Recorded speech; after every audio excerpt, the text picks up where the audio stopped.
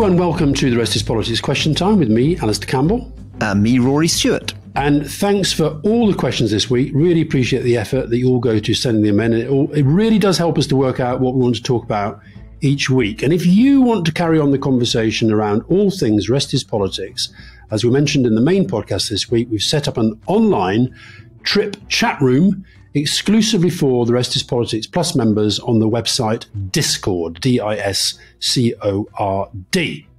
You just get on there and you chat away about whatever you want, be it British politics, America, your favourite books, your favourite TV shows, what we've said, which one of us you like, which one of us you don't like, who you agree with, who you don't agree with. If you want to join in, you just head to therestispolitics.com. There'll be a link to the server in your welcome email. Right, Rory, first question. Willstone. Zelensky's New Year speech was epic. How would Alastair and Rory rate it?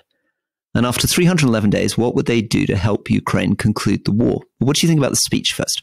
Well, we were going to talk about this on the main podcast, but we got distracted into tea with Gordon Brown and Mo Mowlam and drugs and all sorts of other stuff. So apologies to those who wanted to hear about this on the main podcast. As I said on the main podcast, I thought Zelensky's New Year message was amongst the best pieces of communications I have ever seen. And to think of him doing that at a really difficult time. I don't know about you, Rory, but I always find New Year really, really difficult psychologically for some reason. I always have major plunges around this time of year. But to do that when he's just come back from Washington, he's just had another sort of, you know, massive hit in, in relation to the way the war is developing. Um, and it was just, it was, look, it was 17 minutes long, which is a long time for one guy just to stand there and talk into a camera. There was a little bit of footage. There was film footage of some of the past. He told some of the story. What I loved about it was that he told the story and it wasn't really about him. It was about the Ukrainian people. And it was about what they were doing and why they were doing it. And he, he just, it was, it was like watching a kind of jigsaw puzzle of emotion and story. And lots of the other thing he did was it's only been 311 days. There were so many things that I'd forgotten that had happened, and we've already forgotten them. And he was bringing them out there. And then when you got to the end of it, it was you felt this. You did felt a sense. You felt a sense of hope. It was it was incredible, wasn't it? And and I think the thing that makes a speech partly is real clarity. And there's a sense in that which we didn't see in any other politician's New Year messages. There's just one thing that he was talking about, which was victory. And he kept coming back to that. Yeah. And also the way in which a war leader, and he's a real war leader, can do things that no normal politician can do in terms of oratory. I mean, it was a very beautifully constructed speech. He, he used a lot of that technique which which Neil Kinnock loves, the tricolon, where you we put three phrases together. So he'd mm. talk about warriors to their homes, captives to their houses, IDPs to Ukraine, or he'd say, This is why each of us is here, why I'm here, why you are here. He also did. He also did that thing that I, I actually really like in a speech, but Tony Blair never never really went for this much. But is when you tell stories, and often you just have one word in a sentence.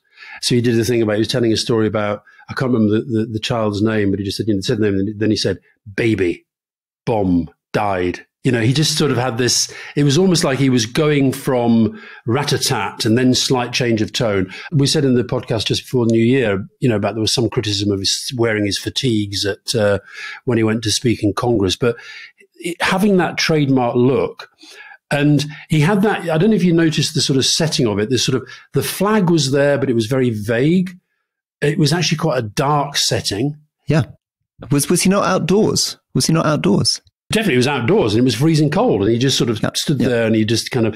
And I, I, guess it must have been scripted. There must have been an auto cue, but maybe not because there was a very natural communication. Well, there were definitely elements that were beautifully written, which he mm. must have either memorized or, or auto cue. But uh, but I, I, I thought it was extraordinary. Did you see Putin's? Yeah, speech? I did see Putin's speech. Putin, as usual, manages to every speech he gives gives the impression he's standing in front of a blue screen, and, and that there's a sort of some weird virtual reality thing. I mean, there were people behind him moving. They were military, weren't they? Yeah, except for one lady who Clarissa Ward, who's the CNN international correspondent, has picked up, appears in almost every image with Putin. She appeared in that image. She appears with an image of him on a boat. She appears with him in church.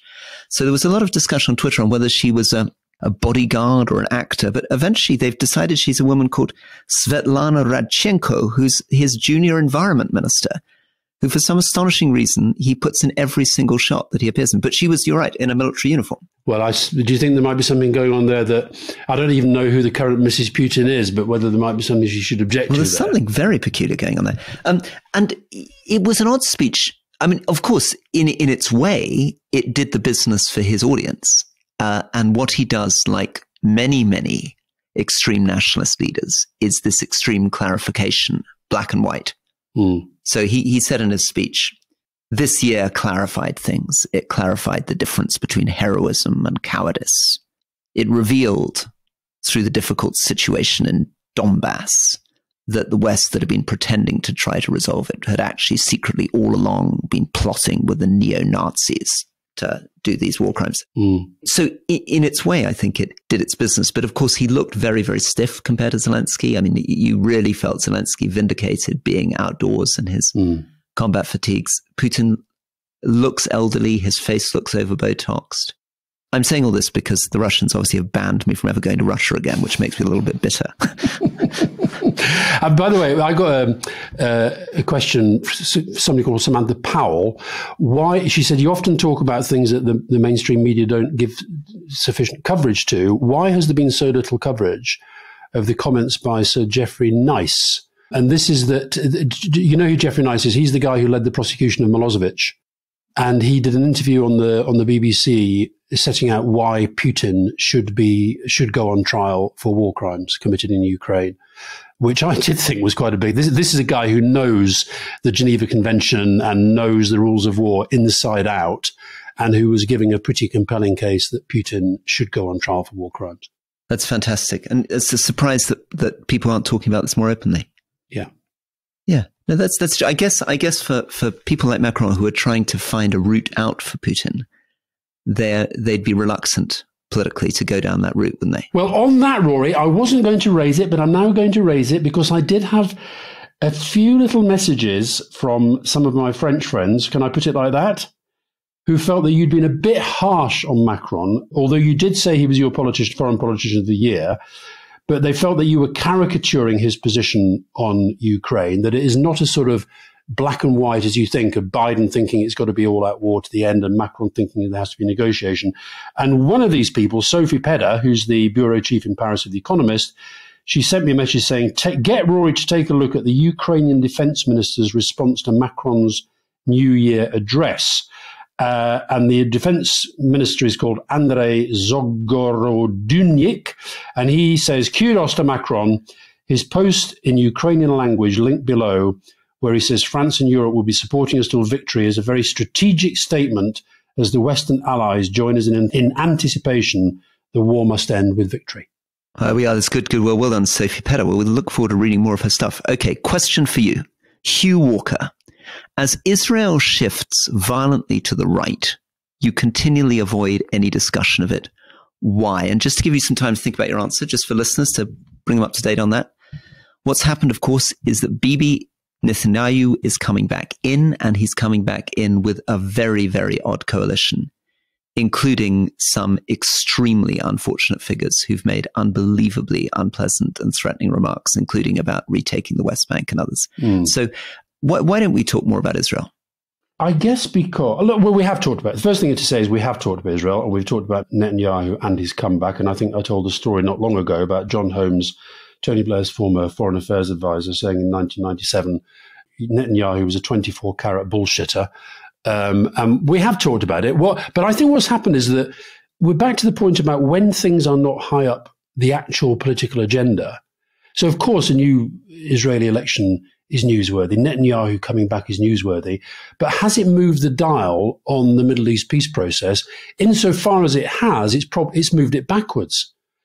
And that just the, the then just becomes a danger that well, what do we keep saying other than the fact that we, you, you and I, I'm sure, are in pretty much the same place. We believe in a, a two state solution. We think that the Americans have got a key role to play.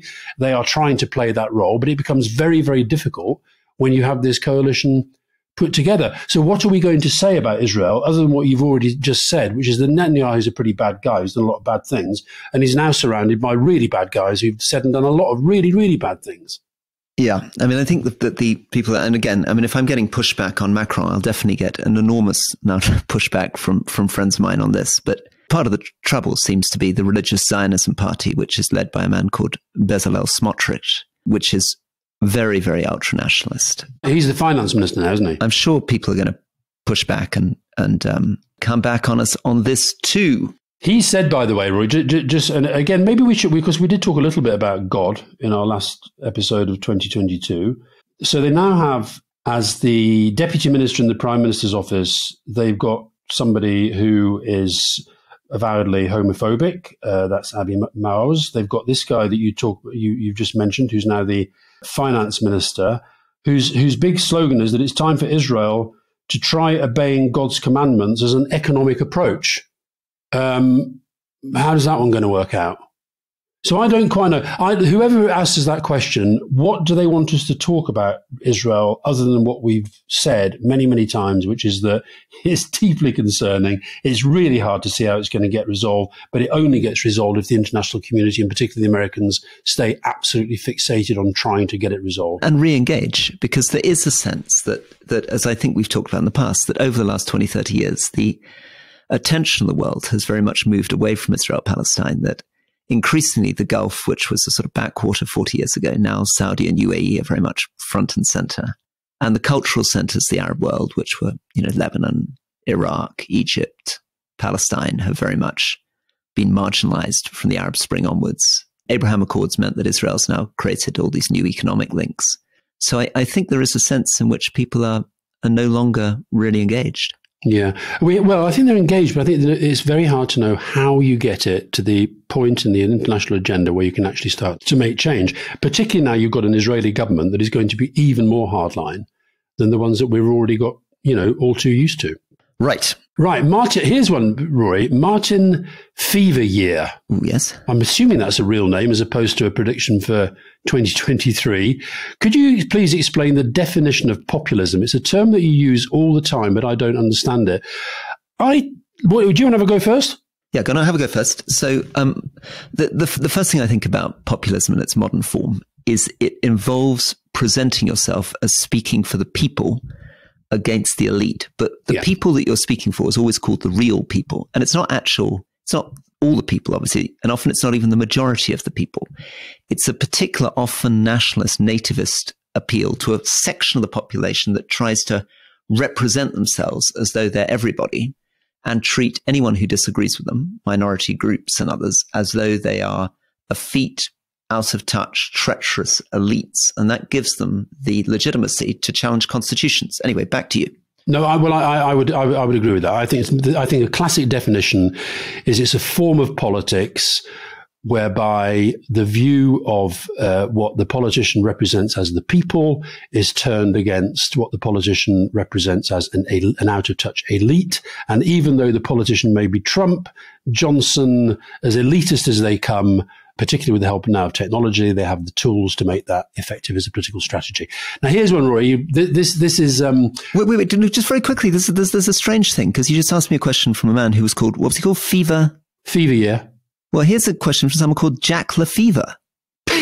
So, if China were to invade Taiwan, would there be a similar global reaction to Russia's invasions of Ukraine or markedly different? I, I agree it's slightly off topic, but the name, that's an interesting coincidence. So, the, the, our question, our choice of questions is now being driven by the name of the person. Roy, you've got to remember, we get a lot of complaints about why we don't so, for example, we've already had why don't you talk about Israel? I've spotted three already recently. Why don't you haven't you talked about Venezuela? So, I think that what we should say to people just say that your name has something related to fever, and we're bound to listen. And the answer to the question is, I think the reaction will be even more dramatic. Well, By the way, Rory, I was. It, will be unbelievable because we've talked about, sorry, just very quickly, we've talked about semiconductor chips and the fact that 90% of the advanced semiconductor chips in the world are made in Taiwan and 50% of all, but 80% of the electric batteries in the world are made in China. I mean, one of the reasons why uh, it's tough for Keir Starmer and others to talk about green growth plans and investing in giga factories for batteries and things is that China has taken the march on that as it has on so much else. And mm, mm. sanctions and counter sanctions against China is going to have the most catastrophic impact on our economy, but I think we'll do it. But I think China and the rest of the world will suffer deeply. And what I think already is likely to be a prolonged recession will get much, much worse. Now, Rory, three three quick points to make. The first yep. is that somebody that we know up here in the Scottish Highlands yep. who's a very is a regular listener to the podcast, yep. said, "What on earth is Rory doing? Saying there's a forty percent chance of this Chinese invasion of Taiwan happening, and what does he base that on?" And I'm going to give you a couple of little pointers that maybe you can help make him even more terrified. The first is that the Taiwan's president has rewritten the conscription rules in um, Taiwan that all Taiwanese males who turn 18 next year are going to have to serve 12 months in the military rather than the present. Uh, I think the current system is four months. And the second thing is, I saw a, a report, I think it was in the Times, which was a discussion going on inside the UK government saying that Britain is very badly prepared for the possible economic consequences that would result from the Chinese invasion of Taiwan, that it would cripple supply chains, it would lead to COVID style shortages of imports, um, and that industry's leaders need to think very, very hard about where they're going to get goods from. Yeah, it's, it's it's it's terrible, isn't it? Because of course that's true in Britain. It's true right the way across Europe and the United States. And the problem is that insuring yourself against that, having the resilience to deal with losing your supply chain from China, is incredibly expensive. I mean, it would mm. involve incredible investments in setting up alternative supply chains.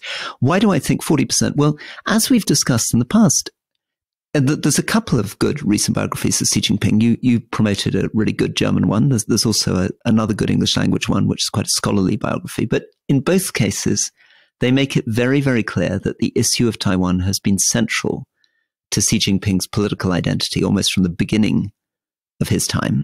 And it's it's very, very likely that he will see unifying China or bringing bringing Taiwan into China as being the legacy he wants. And the, it's just a question of time. There are two things in balance, which is why we're at 40%, not 60%, which is balancing the fact that he hasn't quite got the Chinese military and navy where he wants it to be to absolutely guarantee an easy victory in Taiwan. Hmm. But that has to be weighed against the fact that if I were he, I would think this is quite a good moment to move because it's a moment where the West is already thrown off balance by the Russian invasion of Ukraine. So it cuts both ways. I do think the response that Britain, Europe, the United States have brought to Ukraine has been an important deterrent against Xi Jinping's actions.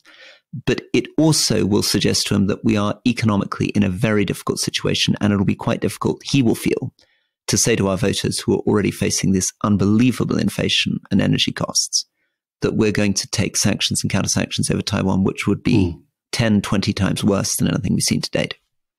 All right, Roy, let's go for a break.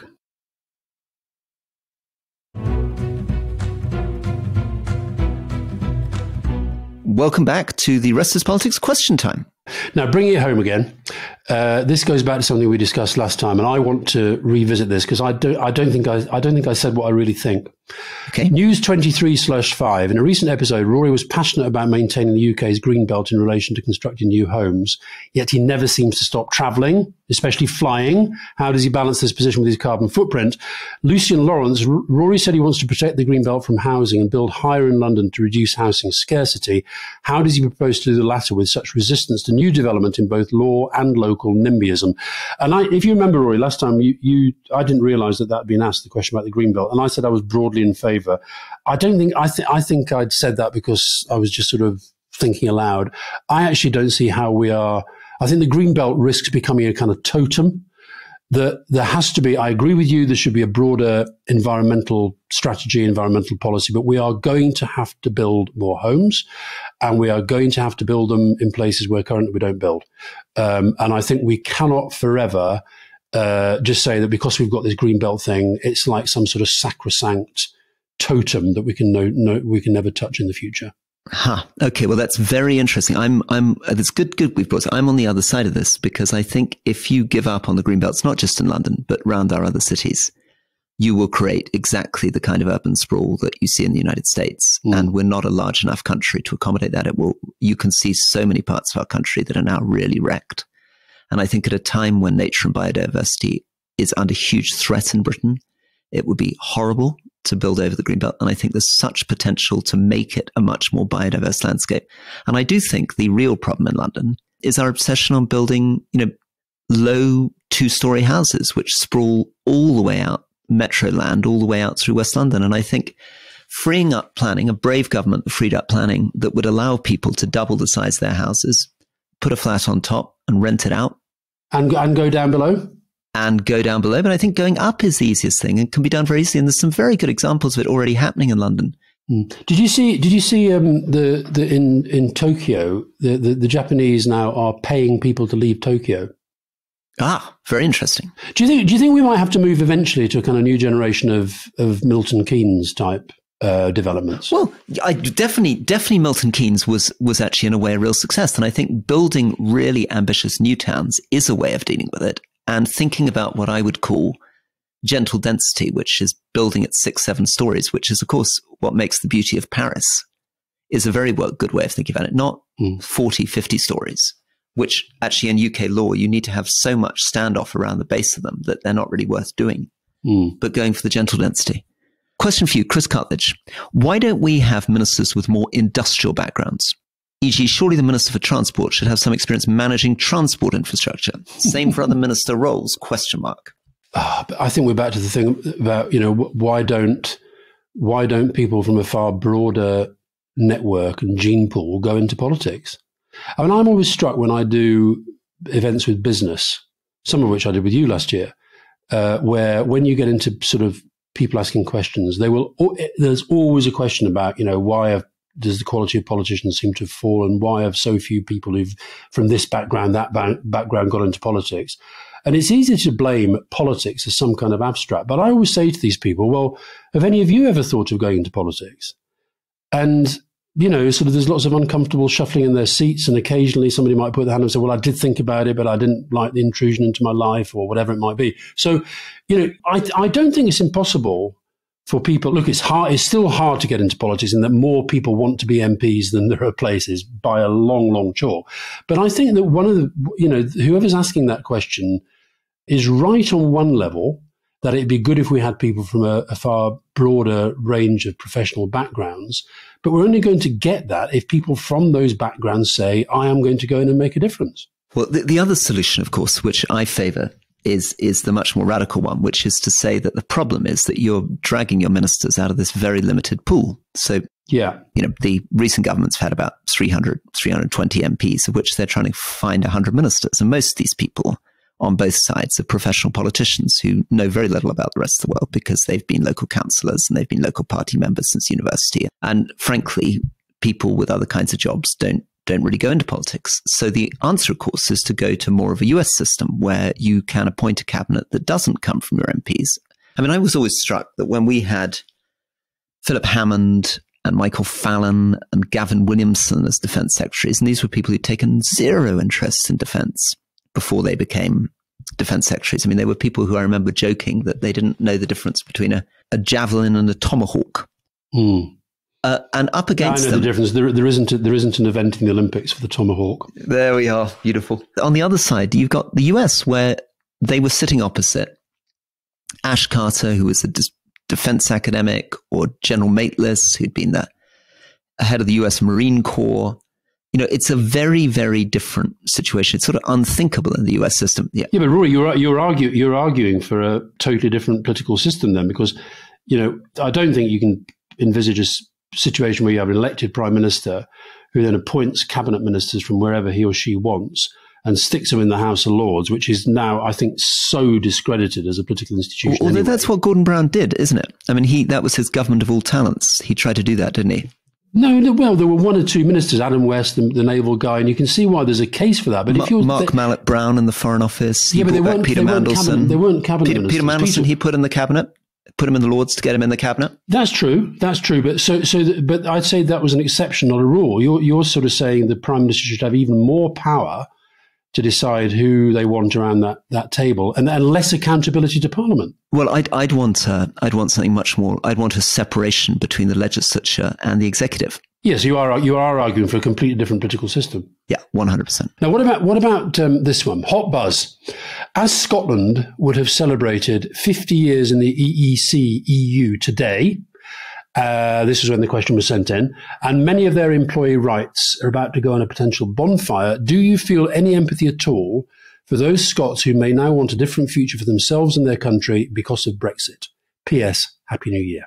P.S. I, I, I do have sympathy. I, I remain very. I mean, I think two two quick things. One is, I think Scotland would have a tough time joining the European Union, and most of its trading relationships are, of course, within the United Kingdom, and it would then find itself facing significant barriers trading with its biggest trading partner if it suddenly joined the EU Single Markets and Customs Union, because it would find itself in some version of the situation which Germany now finds itself in, where German UK trade has collapsed over the last few years. I also think that, as we've talked about when we discussed Kosovo and Montenegro joining the European Union, um, there are many countries in the European Union that are very, very unwilling to allow in countries that are separated from other countries because if you're Spain, or, or indeed the four other countries that are currently blocking Montenegrin accession, they have strong internal reasons not to favor nationalisms mm. in their own countries. By the way, did you see that the border was shut briefly in uh, Kosovo, Serbia? Yeah, very good. Yeah, no, I mean I agree. It's, and, and and that that's a prediction I think that sadly may may prove right that the the chance for conflict again on the European conflict. Oh, I've triggered I've triggered Rory into predicting another war. That's it. I like predict wars. Dilly dally. Um, this links this. Make a controversial political prediction for 2023 and each suggest a forfeit for the other if they get it wrong. Uh, I don't know if this is controversial, but a political prediction I will make. I can already see the beginnings of it in the client journalists who are basically in the pocket of the the, the worst prime minister in history, the the blonde one, uh, well, the blonde male one, and that is that Johnson will try to effect some sort of comeback. But I, I, I hope this is this is maybe wishful thinking, but I, if there is any real respect for truth and parliamentary sovereignty that he claims to believe in, then I hope he will be thwarted by the current, I believe, still ongoing inquiry into whether he lied to Parliament, um, and that his career will be ended by that.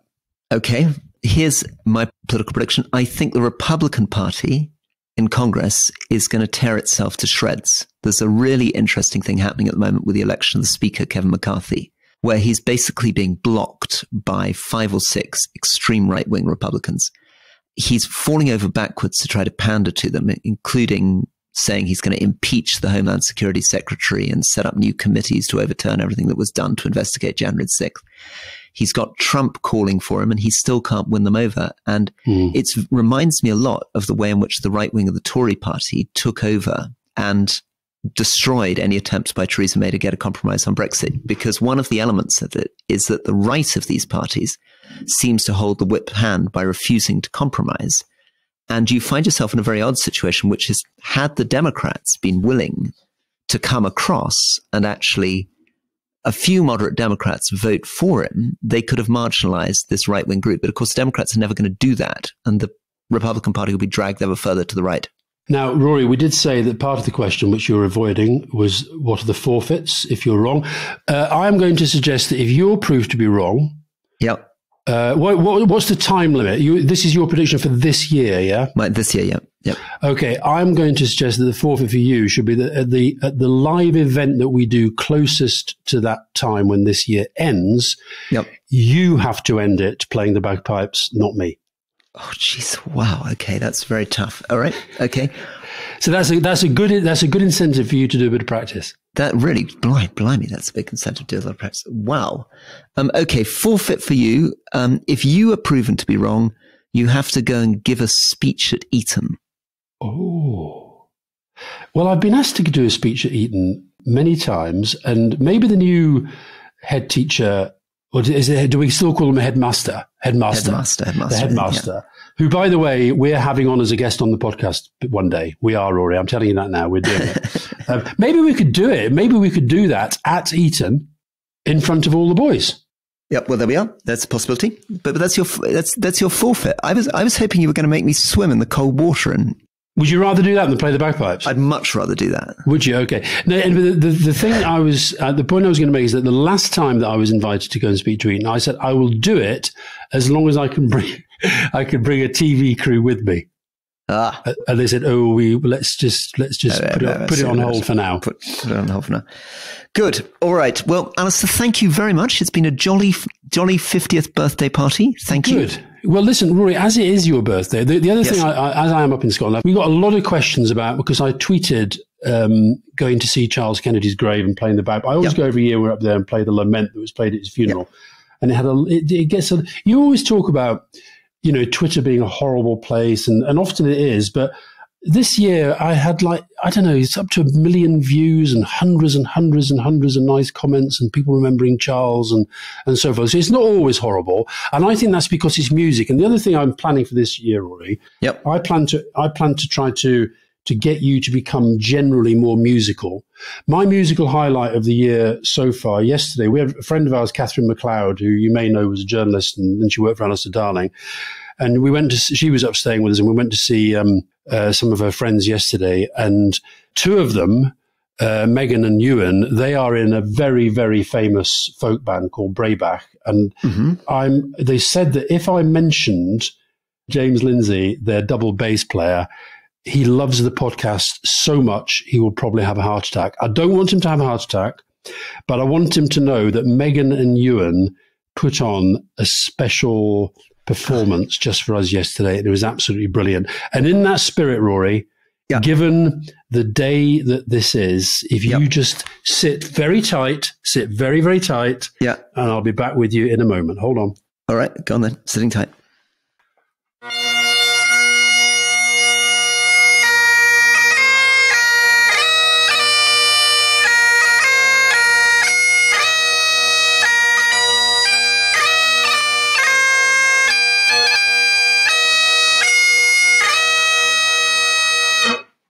How was that? It was really lovely, Alastair. Thank you very, very, very much. How do you think the drones sounded?